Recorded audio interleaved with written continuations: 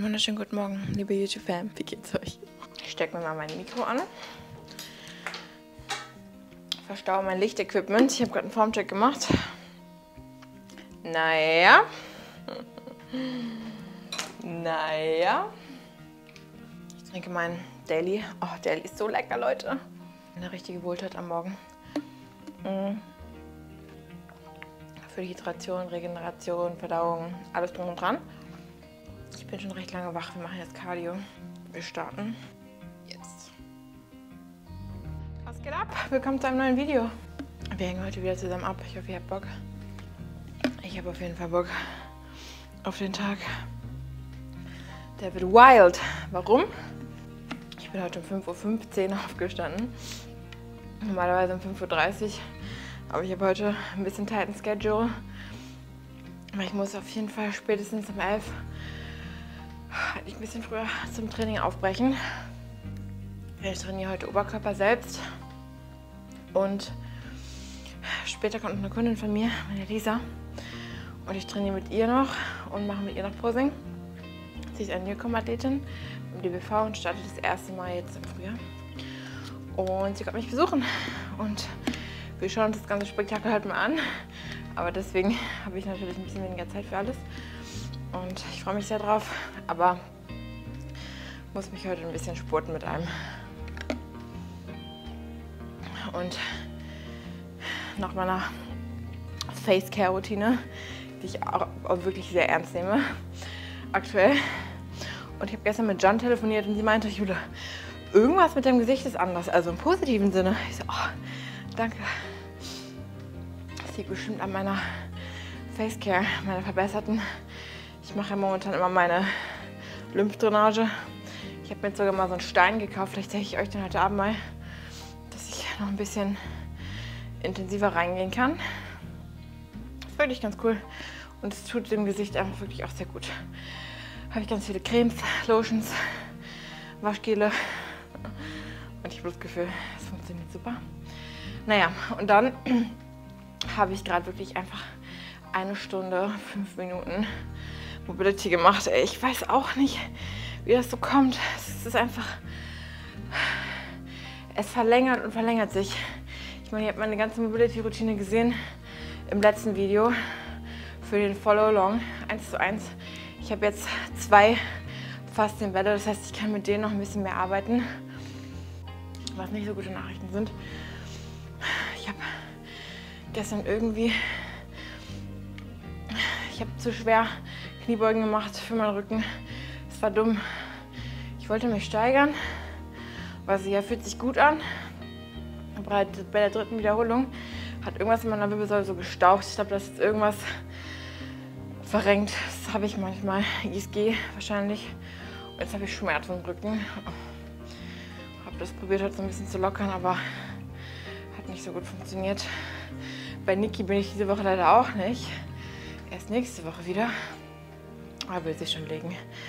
Wird sich schon legen. Genau, dann Formcheck. Mm, geht so. Jetzt ist wirklich so ein Punkt, wo es ein bisschen fettig wird. Ja, ich weiß, ich sollte das nicht sagen, aber es ist immer für meine Verhältnisse so. Und es ist auch okay, dass ich das sage, weil es ist so für mich. Und es darf jetzt bald mal wieder ein bisschen in die andere Richtung gehen.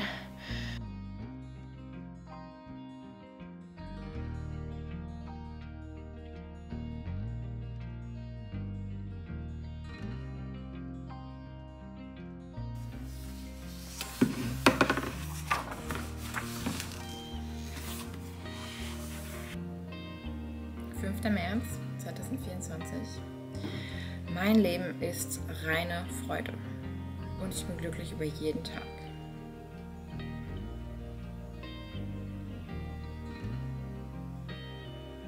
Mein Leben ist reine Freude und ich bin glücklich über jeden Tag. Deswegen sind wir glücklich über den heutigen Tag.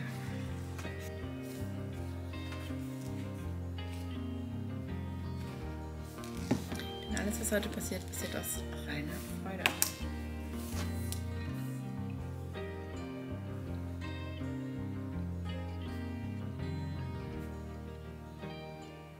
Heute, meine lieben Leute, gibt es ein Full of Eating.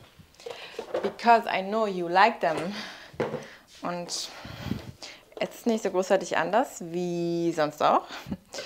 Aber ich dachte, wir machen mal wieder ein Update. Und zwar esse ich aktuell immer noch keinen richtigen Porridge Cake, sondern immer noch das Barley Porridge.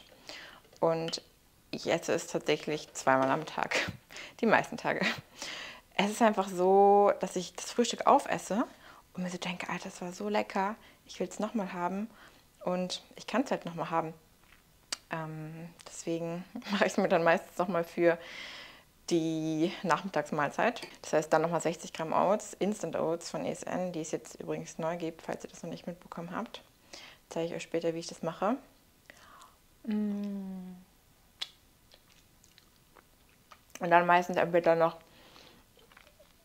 Salat mit Hähnchen oder manchmal noch einen Shake, wenn ich wenig Zeit habe. Oder manchmal Ninja. Aber ich probiere schon eine herzhafte Mahlzeit mindestens am Tag zu essen. Ähm, weil gesund und ich auch meine Veggies brauche. Und morgens gibt es dazu immer ein Flexpresso. Und die Insta-Fan weiß Bescheid. Der geilste Flexpresso ist der hier. Flexpresso mit Chocolate, meiner Meinung nach. Schmeckt ein bisschen wie Kakao mit einer Kaffeenote. Was aber auch sehr gut ist, ist White Chocolate Mocha. Kann ich euch auch sehr empfehlen. Aber das gibt es hier jeden Morgen. Und es ist einfach unglaublich gut. Es ist einfach wirklich unglaublich gut. Und du hast halt dieses Meal und dann dazu diesen Shake und du denkst einfach, boah, es ist einfach gerade zweimal richtig nice. Und deswegen gibt es 60 Gramm Instant Oats morgens mit Flohsamschalen.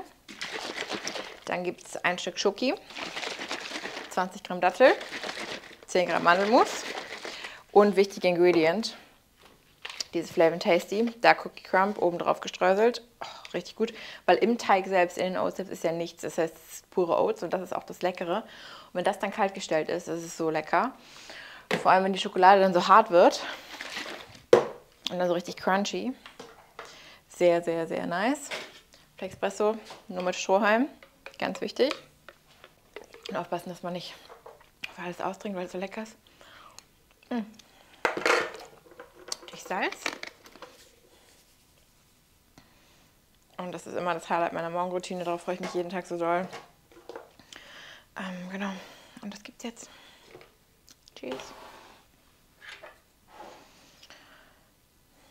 So, wenn wir Glück haben, dann gibt es bald ein Live vom Check mit Stefan. Mm.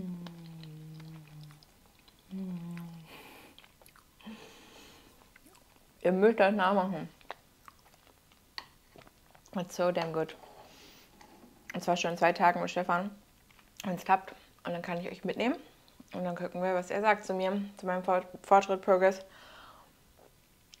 Und es ist alles offen. Es kann sein, dass ich dann einen Tag später in die Diät starte. Das ist irgendwie auch für meinen Kopf gerade so voll schwierig. Weil manchmal macht er so Anleitungen und sagt, ja, wir können bald in die Diät gehen. Und manchmal macht er Anleitungen und sagt, ja, mal gucken. Er hat am Wochenende einfach so krass rasiert.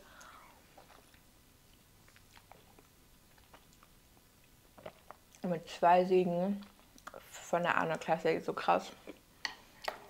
Und man kann einfach wirklich sagen, dass er gerade der krasseste bzw. erfolgreichste Coach der Welt ist. Das ist so wild. Ich bin schon echt sehr stolz auf ihn, was er geleistet hat. Ich trinke Meta X und widme mich Coaching. Ich coache selber und werde auch selbst gecoacht. Und bin auch traurig, dass es kein Meta X mehr gibt, Leute. Ich weiß gar nicht, was ich dazu sagen soll. Ich habe noch anderthalb Dosen. Und irgendwie sollte ich damit sparsamer umgehen, weil danach ist halt Schluss. Ich habe keine Info von ESN, wann und ob ein neues Produkt kommt. Wir alle hoffen es sehr. Wir hoffen, dass es einfach genauso wiederkommt. Aber ich kann es leider nicht genau sagen. Und unter der Annahme, dass irgendwann demnächst eine Diät von mir startet, ich weiß nicht, wie ich eine Diät ohne Meta X überleben soll. Ja, wird gehen, habe ich meine ersten Diäten auch gemacht, aber das begleitet mich einfach seit zweieinhalb Jahren. Das ist schon wild. Aber gut, Herausforderungen werden angenommen. So, wie gesagt, ich widme mich jetzt erstmal Coachings. Und dann mache ich mich fertig. Und dann muss ich auch schon bald wieder Pui essen. Ich habe gerade schon meinen Pui aufgegossen. Meinen Maispudding. Ähm, und dann geht es ins Training. Oh, ich habe auch Soße. Ich weiß nicht, ob das gut oder schlecht ist. Ich habe gestern mit dem Abduktor gestartet im Training. Und ich starte normalerweise nicht mit dem Abduktor rein. Und ich habe vier Sätze gemacht bis zum Muskelversagen. Das war schon intens. Und weil ich am Anfang noch richtig viel Power hatte, obviously. Und heute habe ich einfach so richtige Schmerzen im Abduktor. Also es ist kein Muskelkater. Es ist einfach so ein krasser Ermüdungsschmerz. Und ich weiß nicht, ob das gut ist. Hm. Ich finde nicht da, wo ich hin wollte.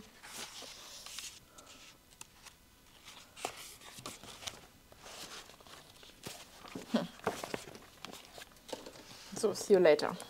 Ich muss mich fokussieren. Mein Pre- und Post-Workout wechselt wirklich nie, ändert sich nie. Es ist wie immer Maispudding mit Designer Way. Heute haben wir, was habe ich nochmal genommen? Almond Coconut. Almond Coconut mit Datteln. Gleichzeitig habe ich mich ready gemacht. Ich zeige euch später mein Outfit. Das ist ein neuer Oasis-Hoodie, bei dem ich sehr begeistert bin, was ich nicht gedacht hätte. Weil es im Endeffekt nur ein Hoodie ist. Aber ich zeige euch später, warum, wieso, weshalb. Jetzt genieße ich erstmal, mache mich ready, packe meinen Pui ein und dann geht's nach Stockerau ins Training. Ganz vergessen, dass ich noch mein zweites Porridge packen muss. Das sind die Instant Oats von Ann. Die haben so eine ganz pulverige Form, wenn man das so kennen kann. Davon gibt es 60 Gramm mit 2 bis 3 Gramm Flohsamenschalen und 350 Gramm heißem Wasser. Und das zieht einfach super schnell ein. Es wird super schnell eine breiige Masse.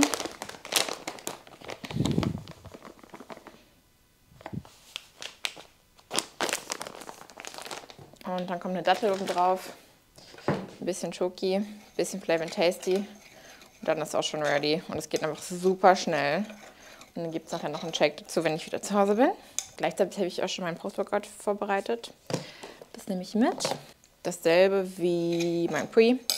Das heißt 60 Gramm Maispudding, 20 Gramm Designerway und 25 Gramm Dattel. Die Instant Oats, die lösen sich auch super schnell auf. Nur ein bisschen rühren dann ist es gleich eine Masse. Und ja, ich meine, warum sollte man nicht die Dinge essen, die man essen will? Vor allem, wenn sie gesund sind, in die Makros passen und für Gains sorgen. Und Hafer hat sehr viele positive Eigenschaften. Alleine schon die Ballaststoffe für die Verdauung enorm wichtig. Dattel. Datteln sind auch sehr gesund, falls ihr das noch nicht wusstet. Natürlich muss man da so ein bisschen in der Quantität schauen, dass man nicht übertreibt. Denn Datteln sind sehr hochkalorisch. Relativ viele Kohlenhydrate. Was jetzt nicht schlechtes ist, aber man muss halt so ein bisschen schauen, dass man nicht übertreibt. Ich habe in meinem Schrank diese Schokodrops gefunden von More Nutrition ohne Zucker oder mit weniger Zucker. Und die sind super klein und small und kannst du super rüber sprinkeln. Ohne dass du viel brauchst, hast du trotzdem eine gute Verteilung auf deinem Porridge. Weil ich finde, es ist halt nervig, wenn du einfach so ein Fett, genauso wie wenn Mandelmus einfach so hart ist. Das ist halt voll nervig, wenn du nur einen Klops in der Mitte hast. Und so kannst du es gut verteilen und hast nicht viele Kalorien. Davon hast du eh nicht viele Kalorien. Es macht dieses ganze Mehl einfach, ich nehme jetzt hier nicht fünf Scoops, sondern ich mache das so ein bisschen, ich mache wenig in einen Scoop, damit sich das ein bisschen besser verstreuen lässt. Auch hier schön gut verteilen. Ab in den Kühlschrank und ready to go. So, ich bin im Gym angekommen. gerade schon 15 Minuten Stairs gemacht, um ein bisschen reinzukommen.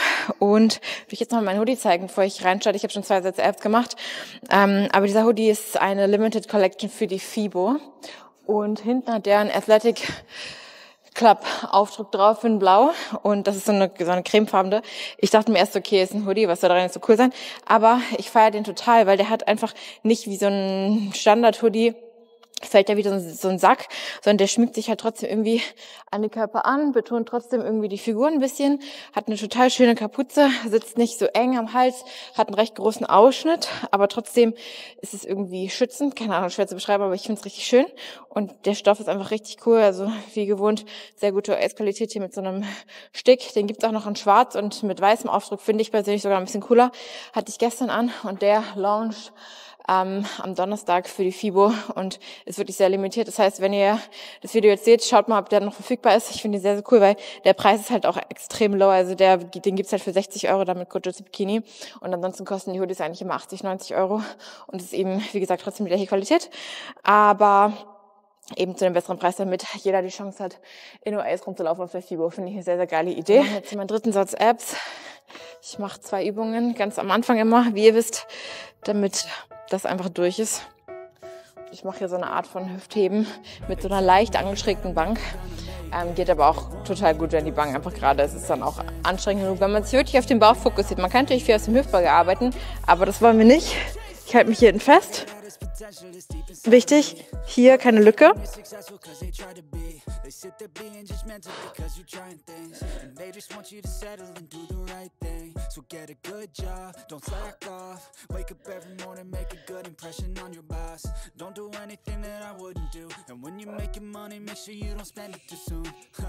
So get a good job, don't slack off Wake up every morning, make a good impression on your boss Don't do anything that I wouldn't do And when you're making money, make sure you don't spend it too soon Fuck that, I'll do what I wanna do. I got a different path from everyone and that includes you. Who are you to tell me how to live life? In these times it feels like nobody's right, yeah. So I'ma figure out what else we succeed And then invest all of my time into that and proceed. I need whatever the hell could make me happy And I don't think you have a clue what could that be. They tell me that I'm never gonna make it. They want me to So, ihr habt gesehen, die ersten Raps habe ich noch mit so einem Anheben der Hüfte gemacht. Wenn das nicht mehr geht, ohne dass der Hüftbeuger mitarbeitet, einfach nur die Beine heben, senken. Ich habe jetzt nur acht Reps geschafft, weil wenn man sich wirklich auf den Bauch fokussiert und ohne Schwung arbeitet und ohne Hüftbeuger arbeitet, dann geht's gut auf die Apps. Und auch wirklich schauen, dass der Unterrücken nicht abhebt, sondern der Unterrücken schön ins Polster reingedrückt bleibt. Jetzt machen wir noch Crunches auf dem Ball, mag ich auch sehr gern. Meine liebe Kundin Steffi hat mich daran erinnert, dass das eine voll coole Übung ist. Habe ich auch mal wieder gemacht. Und seitdem mache ich die jetzt wieder. Ich finde die super. Also wir legen uns über den Ball rüber und dann ohne Schwung in den Crunch rein und zurück. Und gar nicht so hoch kommen, sondern so weit, dass wir eine maximale Kontraktion haben und dann wieder zurück.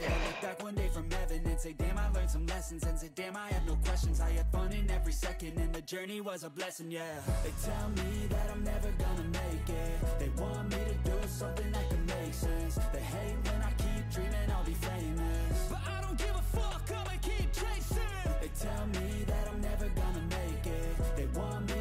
something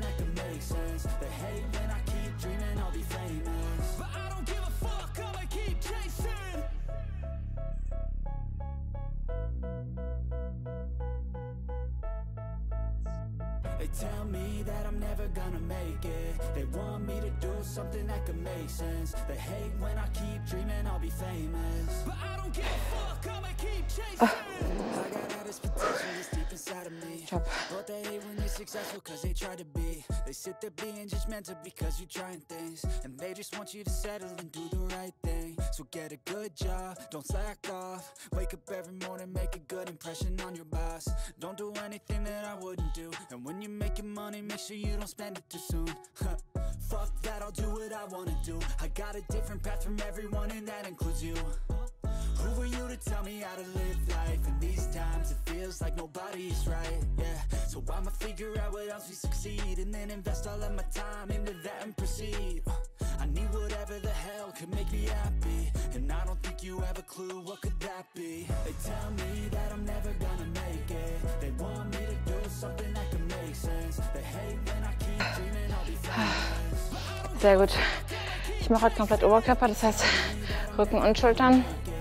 Rücken mache ich tatsächlich nur einmal die Woche aktuell. Die ganze Aufsicht eigentlich nur einmal die Woche. Und dann so zwei bis maximal drei Übungen eigentlich pro, pro Woche. Eigentlich auch schon wild. Nicht so viel.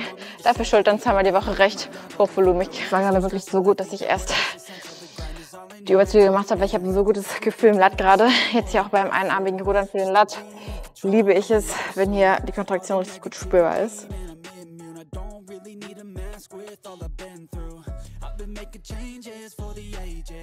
kurz halten, ist ganz wichtig hinten. Stellt euch vor, ihr zieht nur aus dem Rücken, nicht aus dem Arm.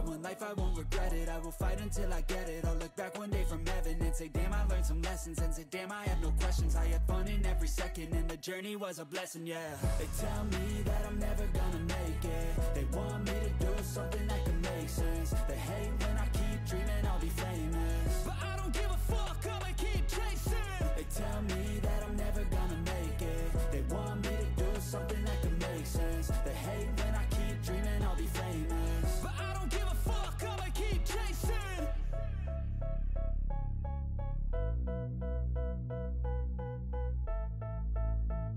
They tell me that I'm never gonna make it They want me to do something that could make sense They hate when I keep dreaming I'll be famous But I don't give a fuck, I'ma keep Aber Bruder, das ist mega, da kannst du dich auch richtig gut selbst spotten.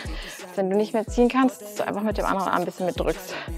Sit there being judgmental because you're trying things. And they just want you to settle and do the right thing. So get a good job, don't slack off. Wake up every morning, make a good impression on your boss. Don't do anything that I wouldn't do. And when you're making money, make sure you don't spend it too soon. Fuck that, I'll do what I wanna do. I got a different path from everyone and that includes you Im Oberkörpertraining gönne ich immer den Tweet. Das war Isoclear Cherry.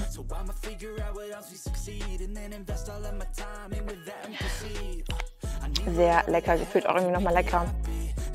Wenn man das vorgemixt trinkt, als wenn man es selbst macht, oder? Dann dritte und letzte Rückenübung, Latt ziehen. Und zwar wirklich sehr kontrolliert für den Latt. Recht wenig Gewicht, recht enger Griff. Und dann stelle ich mir wirklich vor, wie mein Latt sich maximal zusammenzieht und nicht mein oberer Rücken, ganz wichtig.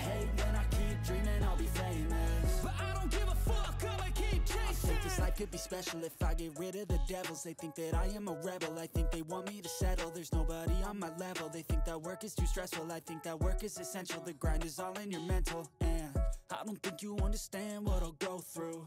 Just to be in control of my life soon. All the negativity, man, I'm immune. I don't really need a mask with all I've been through. I've been making changes for the ages. Five, ten year plans are contagious. I attack that shit, I'm tenacious. And if you ain't, get the fuck out of my way then Got one life, I won't regret it. I will fight until I get it. I'll look back one day from heaven and say Damn, I learned some lessons. And say, damn, I had no questions. I had fun in every second. And the journey was a blessing, yeah. They tell me that I'm never gonna make it. They want me to do something that can make sense. They hate when I keep dreaming I'll be Geschafft.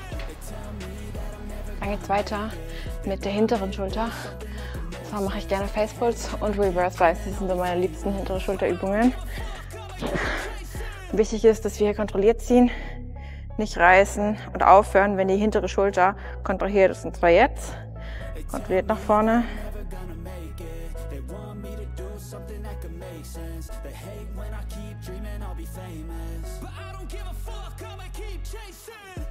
Got all this potential that's deep inside of me. But they hate when you're successful cause they try to be. They sit there being judgmental because you're trying things. And they just want you to settle and do the right thing. So get a good job, don't slack off. Wake up every morning, make a good impression on your boss. Don't do anything that I wouldn't do. And when you're making money, make sure you don't spend it too soon. Fuck that, I'll do what I wanna do. I got a different path from everyone and that includes you. Das war schon heavy. Jetzt muss ich mich ein bisschen beeilen, leider. Lisa kommt gleich her zum Training und ich muss noch Schulter machen. Schulter zeige ich euch dann ein anderes Mal. Ich muss jetzt ein bisschen durchwaschen. Im Endeffekt ist immer dasselbe. Schulter drücken und Seitheben und Facepulls. Manchmal auch aufrechtes Rudern, aber das mache ich eher freitags am Wheel Schultertag. Ich habe noch eine Runde gepostet. Und jetzt gibt es Post-Workout. Training war tatsächlich noch gut. Ich habe echt noch mal viele Sätze Schultern geballert. Mit wenig Pause, mit ein bisschen Rest-Pause-Sets. Und das war nice. Schultern sind platt. Es gibt wieder 60 Gramm Eispudding, 20 Gramm Designer Way und 25 Gramm Datteln. Sehr gut, schön. Ja, mega.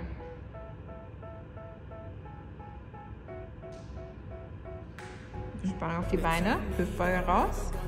Das Mittelkreuz. Ja.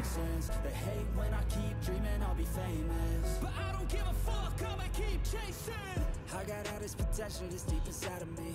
But they hate when you're successful cause they try to be. They sit there being judgmental because you're trying things. And they just want you to settle and do the right thing. So get a good job, don't slack off. Wake up every morning, make a good Ja, viel besser. Sehr gut. Fühlt sich an? Aber es sieht jetzt der beste Eyewalk, den wir jemals gemacht haben mit dir. Es wird, es wird.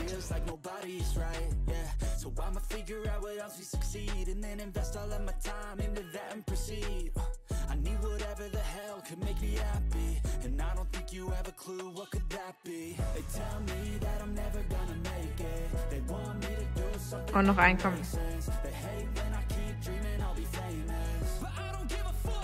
Schulter hin zusammen.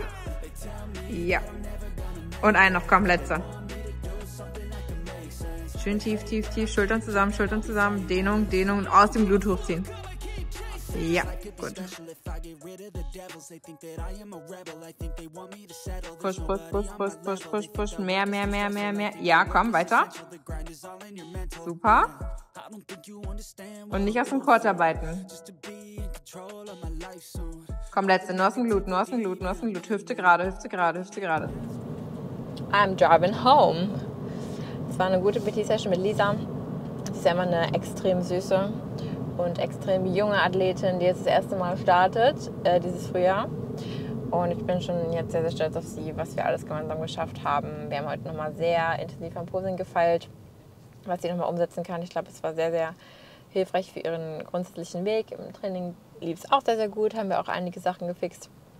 Und grundsätzlich macht sie eine sehr gute Arbeit. Deswegen bin ich schon sehr, sehr hyped auf ihren ersten Wettkampf. Es ist einfach immer, es ist für mich so eine coole Arbeit, Newcomer zur ersten Show zu begleiten. Das mache ich eigentlich am allerliebsten äh, mit Athletinnen, weil diese Transformation einfach immer so wunderschön ist.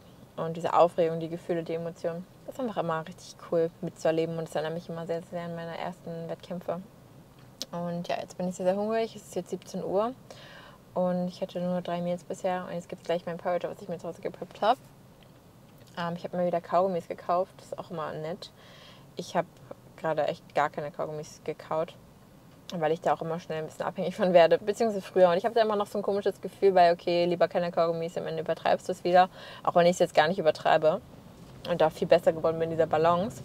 Ähm, aber ich hatte einfach mal so eine Phase in meinem Leben, es war während irgendeiner Wettkampfphase, wo ich einfach so unnormal viele Kaugummis gekaut habe und davon nicht weggekommen bin. Naja, lange Rede, kurzer Sinn. Ich, ich trinke, genau. Ich kau gerade ein Kaugummi und es ist einfach auch nett. Es ist schön. Und ich freue mich auf meinen Porridge jetzt gleich. Ich bin ein bisschen müde geworden. Ich muss heute noch recht viel schaffen, weil ich habe nach dem, ich habe seit heute um 10.30 Uhr nicht mehr richtig arbeiten können. Ähm, deswegen ich wird nochmal gehasselt. Einfach auch immer super, direkt vor der Haustüre einen Parkplatz zu bekommen. In einer Gegend, die jetzt nicht gerade leer ist. I mean, look at this. Aber Jules manifestiert sich immer ihre Parkplätze vor der Tür und dann wird es auch geschafft. Schlüssel, Schlüssel, Schlüssel. Briefkasten. Nehmen wir auch noch mal mit.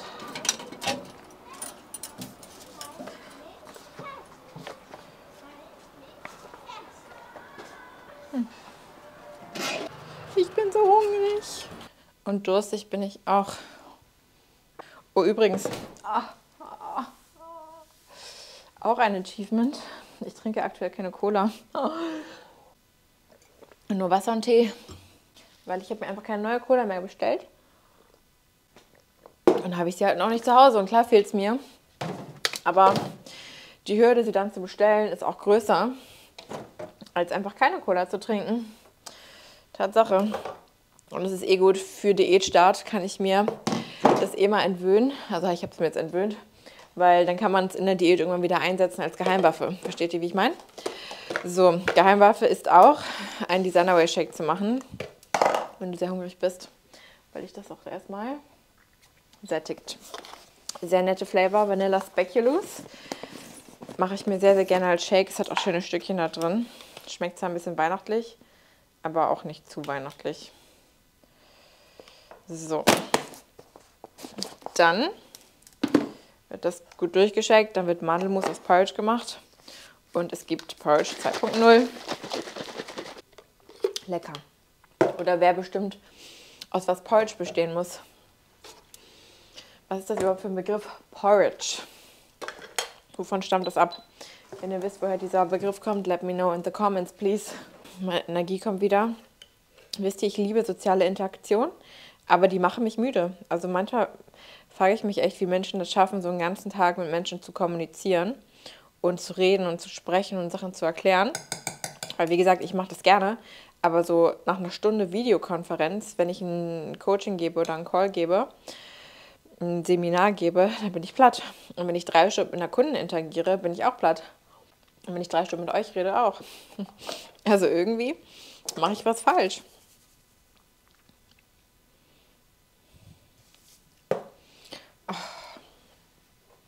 Wunderbar.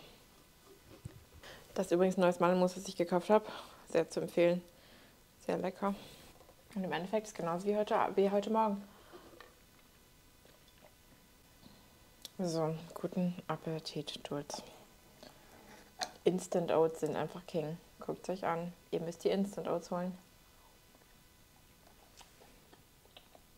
So, und jetzt brauchen wir noch ein paar Veggies. Deswegen habe ich mir jetzt ganz Salat gemacht mit Salatmischung, mit Zucchini angebraten und Tomaten und Rinderhack. Fettarmes Rinderhack. Und da gibt es ein bisschen Gewürz oben drauf. Ketchup von ESN, Curry Ketchup. Und dann haben wir den heute auch erledigt. Sieht auch lecker aus, oder?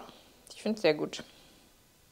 Ich bin gerade bei einer meiner letzten Task Tasks für heute. Jetzt schneide ich noch ein Reel. Und zwar bin ich aktuell total im Transformationsmodus und schaue mir ganz häufig so alte Bilder Videos von mir an, wo ich so richtig dünn war.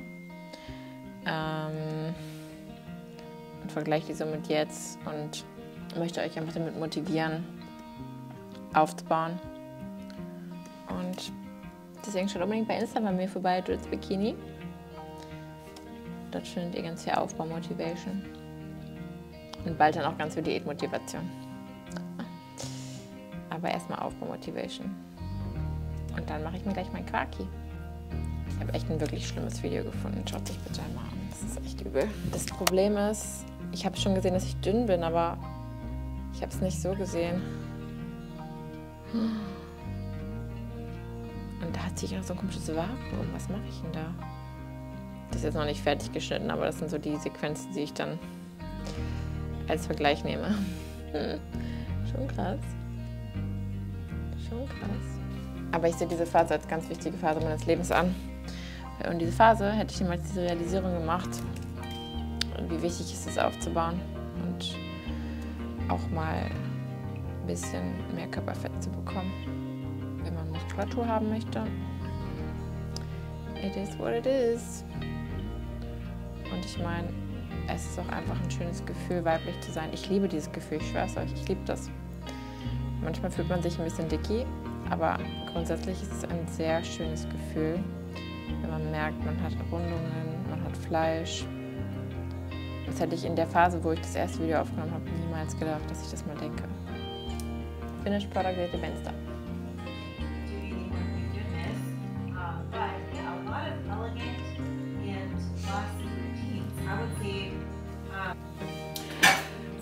Abschluss eines wundervollen Tages. Ich habe gerade fast fertig gearbeitet, fast. Aber nehmen wir jetzt mal wieder meine Socks. Und zwar gibt es wieder auch am Abend Daily. Schmeckt einfach viel zu lecker, um es am Abend zu skippen. Hat Glutamin drin, Kreatin drin, Kollagen drin, Leucin drin. Alles Dinge, die wir gut gebrauchen können für alles Mögliche. Und dann, we have here We have a pill box here. And what's missing? Can you tell what's missing? Kokomin is missing. Übrigens, Leute, habe ich total Lust, englischen Content zu machen. Ich glaube nur, dass ihr das nicht so mögt. Ich habe überlegt, einfach mal ein englisches Video zu machen. Ich meine, mein Englisch ist absolut nicht perfekt, aber ich habe total Spaß daran, Englisch zu sprechen. Und ich bin die ganze Zeit so am überlegen, wie es wäre, wenn ich mal ein englisches Video machen, machen würde. Kommentiert mal Englisch, wenn ihr wollt, dass ich ein englisches Video mache. Mal just for fun. Ich werde nicht alles auf Englisch machen, aber immer so ein Video. Ich bekomme auch schon manchmal so Anfragen von internationalen Personen, dass sie gerne YouTube auf Englisch schauen wollen würden. Bei mir Es sind jetzt nicht so viele. Aber irgendwie habe ich Lust drauf. Also kommentiert mal Englisch, wenn ihr Bock habt. Dann können wir zusammen ein bisschen lernen. Und üben. Finde ich eigentlich cool. Was meint ihr? Was meint ihr? Let me know in the comments below. Ich schlucke immer so viele Kapseln wie nötig auf einmal immer so eine kleine Challenge am Abend noch. Just for fun. Und was geil ist, ist ein Immunity Support. Das supportet nochmal das Immunsystem ein bisschen additionally. Weil man weiß nie. Man weiß nie.